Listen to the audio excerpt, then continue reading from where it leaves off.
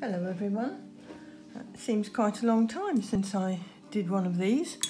Um, a lot has gone on since then.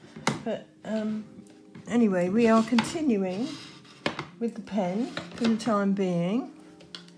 Um, because it seems appropriate, I feel, for autumn things. And um, I've received some hugely successful pictures from you this month using the pen for buildings. So let's see how we get on with painting berries and hips and haws and things like that. Um, I've chosen some rose hips to demonstrate this time. Um, and as my roses are still blooming, I decided that I would include a rose in my painting as well. Um, so there seem to be quite a lot of colours here, but there is a, quite a difference between a white rose and a little collection of, of rose hips. Um, so that gives you an idea of um, what you would need to do for one or the other, or both. Um, I decided to work to size and not actually create too large a picture this time, because if you have a lot of one thing, like a lot of berries or whatever, then it um, you know, can get a bit um, lacking in variety, shall I say. So um, beware of that and try and create variety in your painting. Um, I used um, a 0.3 um, water re resist pen and I didn't use smooth paper because sometimes if you're doing something reasonably delicate, and I was including the rose, um, it can look a little harsh to have such a, a heavy solid line which a, a smooth paper um, tends to sort of create. So I've used the cold press paper which gives me a slightly more broken line and um, but still allows me to get the, the actual appropriate shape that I, I need. I'll start with the rose and I'm using, I'm going to try to do it all with one brush which is a number eight um, Sable Blend. Lovely clean water for a nice white rose. And for the rose, I've mixed together some cobalt blue and um, some quinacridone magenta. And remember that it is just a wash. I've created the shape in the shapes that I need in my picture with uh, everything. So it is just a matter of creating a nice wash popping in shadows and all the colours that you see um, which actually makes life a lot easier sometimes. I'm softening the edges for the shadows in this little flower and trying to create the shadow tone by using sometimes a little bit more of one colour than, than the other in, in the work. I also see a little bit of yellow in there, so I'm going to pop that in, which will look quite nice beside the purpley shadow. And don't worry about going over the edges of your drawing it's actually going to help to, to free it up a bit. This is not at all the way I would paint a rose if I hadn't drawn it first with pen. I would be much more careful about where I was popping my colours. But when you're just creating something with a little wash over the top, it's a different technique altogether and it actually works quite well just allowing the colour to, to bleed and to blend one into another, helping to free up the whole thing and create a nice looser approach.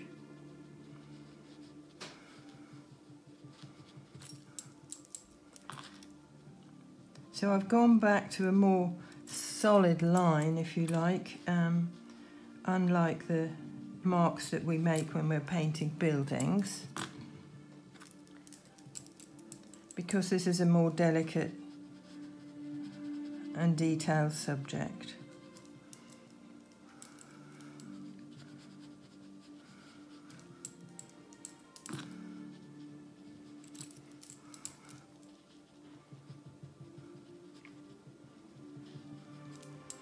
It's amazing how many flowers actually are still blooming outside. I still have quite a lot of roses and the Japanese anemones in fact are looking better than they did earlier on when it was so hot. They obviously have benefited from having a little bit more rain and colder weather. Right, so I've tried to make this side a little bit darker than, than that side. Um, got another little bit of rose going on up here. So, and that I can see a little bit of pink in that little bud. So anything like that that you see, pop in because that helps to give variety to your picture. So look out for all the, the different little aspects. And especially in autumn, when you actually see um, lots of bits and pieces, you know, little tiny sort of scruffy leaves and things like that.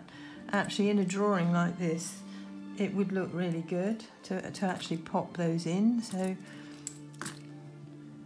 do all you can to create nice, interesting picture to paint. Right, I think that's okay.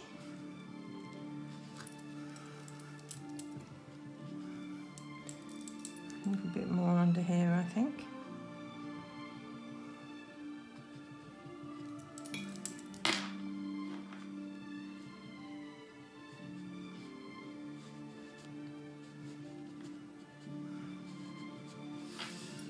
Good. Um, so now I'll start on the berries and do a few of those before I speed up. I've got a couple of reds out. I've got the cad-free red and just the cad-free red deep, but also some alizarin. And because I've drawn it, I can start up at the top here. This little berry is looking very scruffy because it's going over. But what we must remember is that everyone will have a little bit of shine, a little bit of shadow. So you can, if you think you might forget, for your shiny areas, you can use masking fluid, but I'm going to actually try to remember to leave my shine as white paper.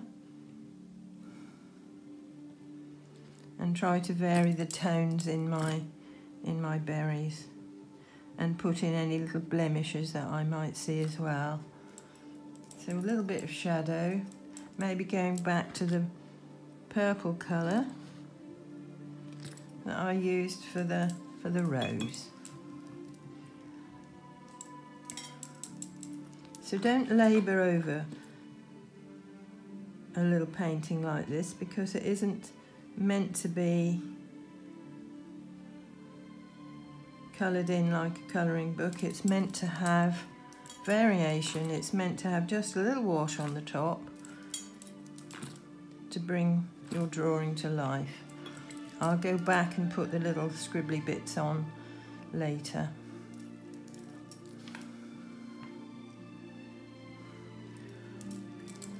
Keep an eye all the time on your subject and, and look out for any variation whereas I've got a really really really dark berry here. So it's got quite a bit of purple in it and then little bits of shine.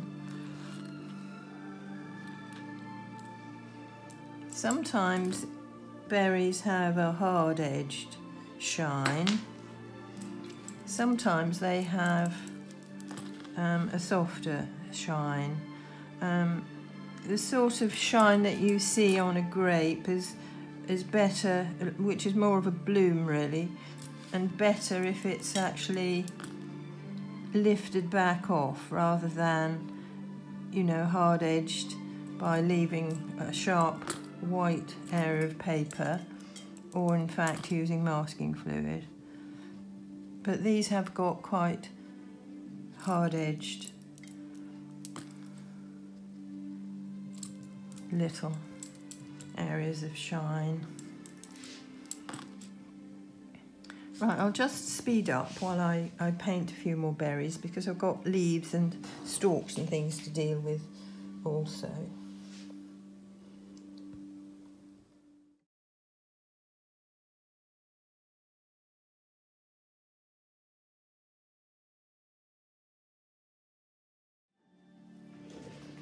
Right, that's the berries in.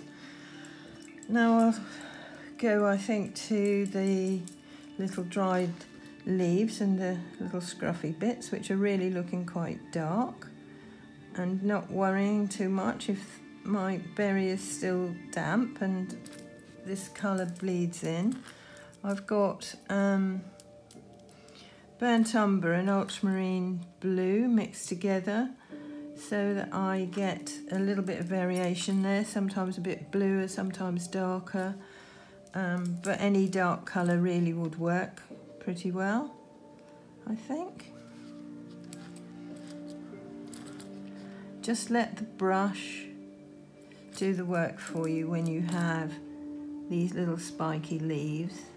Bear down, then lift, to get the marks that you need. They're, they're, I think the, the main, one of the main parts of painting um, berries. I think they, they add a lot of interest. They're lovely. And of course, if you've drawn them, you're not going to lose that original shape that you made in the first place.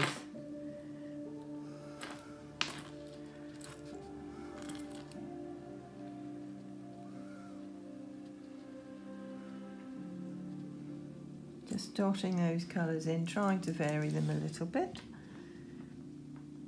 These are all very quick, so don't, you know, take too much time over them. I think the more time you take over these things sometimes, when you've got a little wash just to apply, then I think you can get a little bit too hard and heavy. It's lovely to just leave it as a little wash.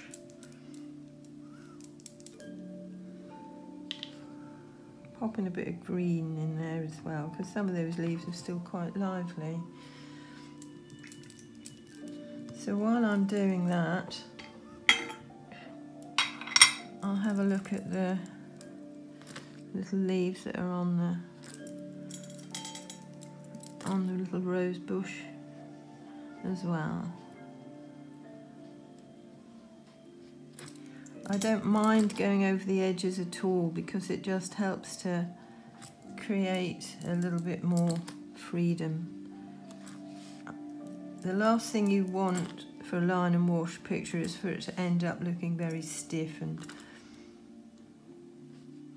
boring.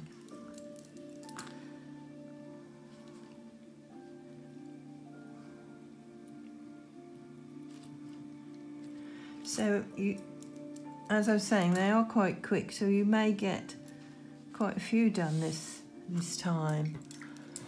I hope so.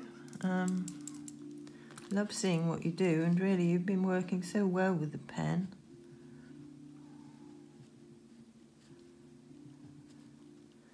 Leaving white paper, always a good thing. Got some variation in there, a bit of depth. Letting the paint float around and sort of make its own marks to an extent as well is always good.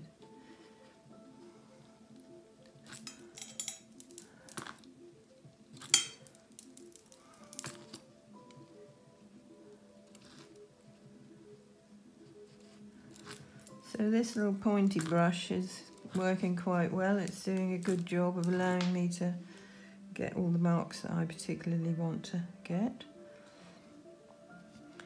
Right, let's do something about the stalks, which in fact have got a, a ready tinge. So I'm using that ultramarine blue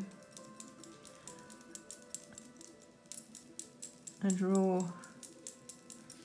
umber colour. And I added a bit of the red from the berries as well. So I'll do the branches, I think, first.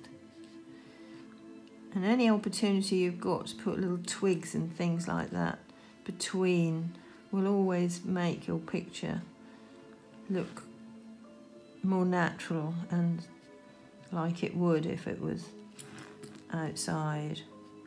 And of course with the pen you can put on any little tiny thorns which we tend to sometimes leave off when we're painting normally.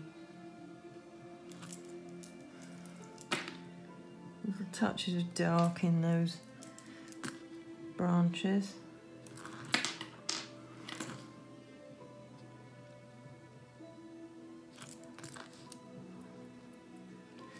And then nearer to the tips of the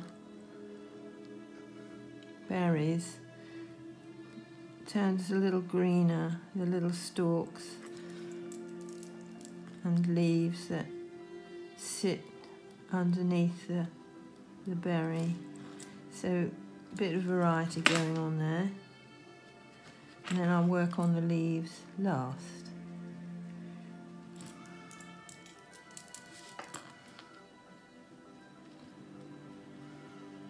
Always start when you're doing your drawing with the focal point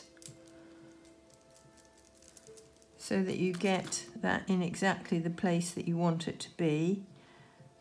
The temptation sometimes if you're looking at a big array of something is to actually just start at the top and, and work down or the bottom and work up. But if you were to work first in your focal area, you're going to get everything in the right place. So put that in first and then work from it.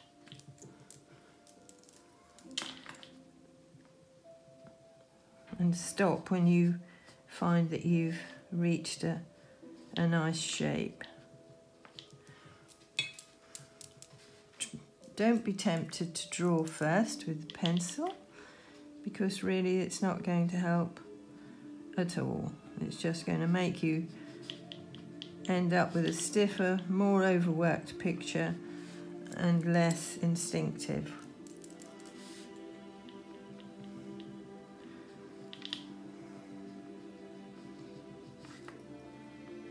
I find people work much more loosely and freely using the pen than they sometimes do with the pencil, which doesn't sound as if it should be that way, but it actually really is. I think because you just go for it and you don't worry too much about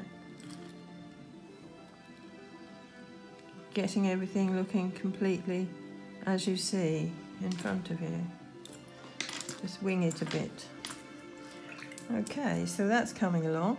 Now I need to work on some leaves, some of which are lovely and green, some of which have turned yellow, which is going to help to give me variety again, which is a good thing.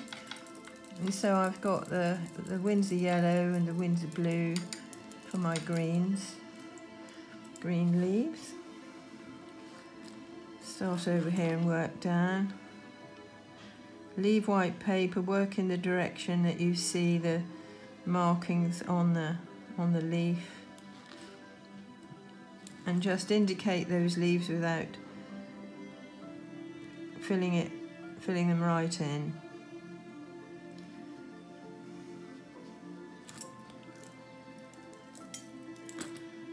Putting a bit of dark wherever you can to create difference.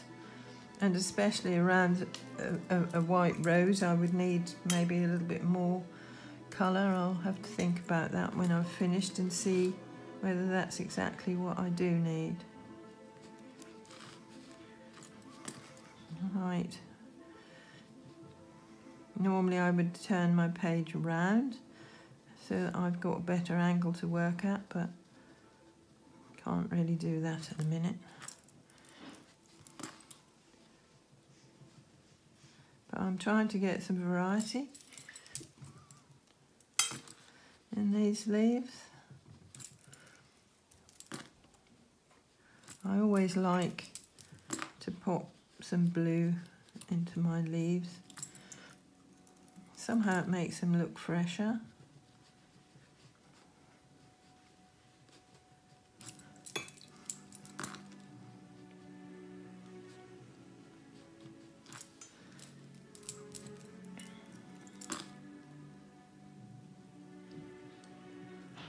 Keep an eye on what you've done and go back if you need to bring something up to a, you know, deeper colour or whatever.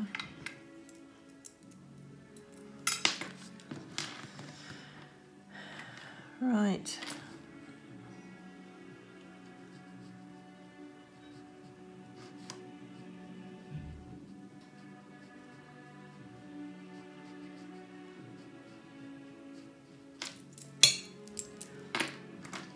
Have a little bit of shine, some of these leaves actually, so could lift back some shine.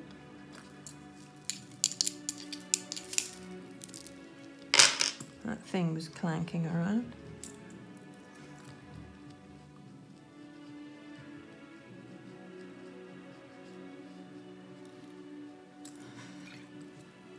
I'm going to bring a little bit of yellow into this one.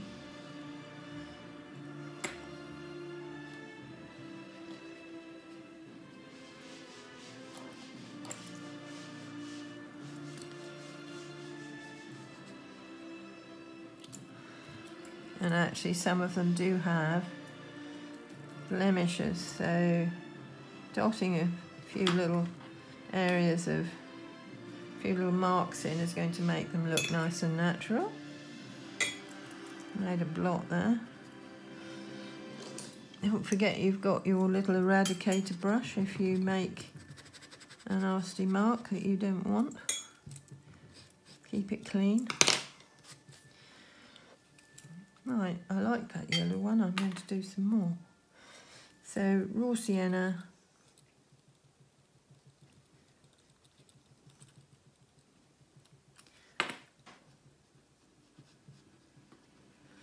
A little bit of cad-free yellow as well on the top to brighten it. A few blemishes. And they look very natural.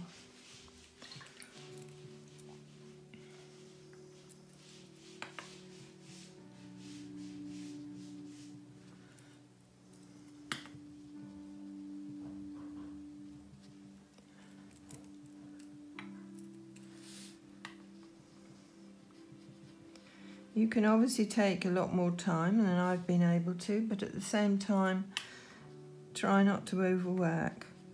Make sure you, you remember that it actually is a just a little wash.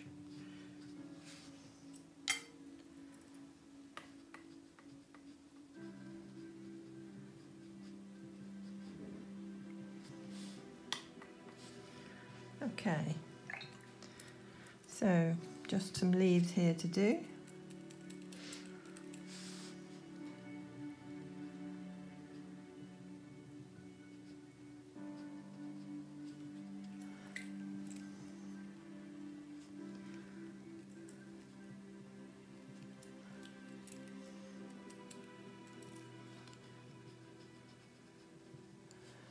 They are quite blue, some of those leaves. But if you work one side of your leaf, then the other side. It's going to help you to get shape that you need. And also one side, if you paint one side, then the other, you're going to get variation because nearly always, if you look at a leaf, one side looks slightly different to the other. And it stops them looking flat. So there's a leaf sitting behind here. That's another thing. Make sure you've got um, some perspective in your work so that you've got um, some things sitting behind something else. You know, you don't have to do a lot of it, but just some of it will actually really help to make it look natural. The temptation is to leave spaces between everything. And especially with leaves because they tend to sit on top of each other all the time. So try to pile them up a bit. And it's easier with a pen than it actually is otherwise. There we go. I think we're just about there. Where the stalks come away from behind a flower or something, it's always a good idea to put a little bit more depth it brings the subject forward.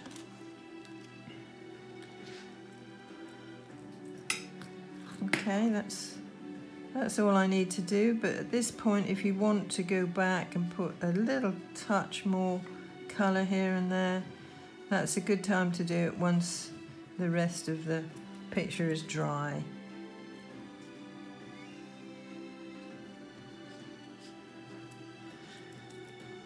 And as long as you leave some white on a white flower, it's still going to look white, although I've actually put quite a lot of colour into it.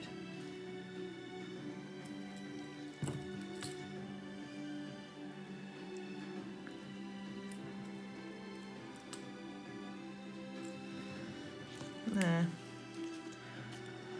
Now I could go back in and maybe paint a few more leaves or indication of some more greenery going on behind, more twigs, things like that. Certainly around a flower if you if you're doing as I am and popping a flower in. Um, so that's something if you've got a bit more experience and something that you might like to do. But I'll show you some more pictures that I actually have created, painting berries and leaves, to give you some more ideas. But that little bit like that has just helped to bring it together in the focal area there. And help to bring that side of the rose out just quickly. So paint to size if it helps.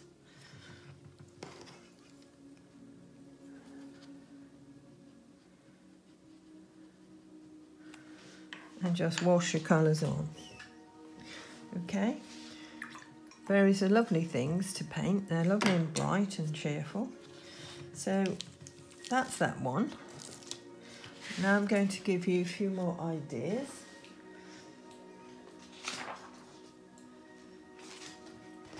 Here's one I did earlier. Similarly,